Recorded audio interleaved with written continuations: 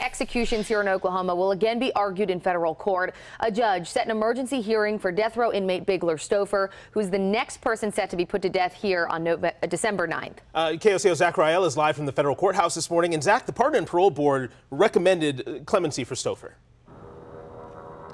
Yeah, that's right. And that recommendation will sure be a central part of what is argued in federal court. Now, the Pardon and Parole Board recommended clemency not because they think that Stouffer is innocent, but because of concerns about the drugs Oklahoma uses to actually carry out these executions. Well, board members specifically question whether they should even be voting on these cases at all when the drugs are set to go into litigation in February. Now, Governor Kevin Stitt will have the final say on whether to grant Stouffer clemency.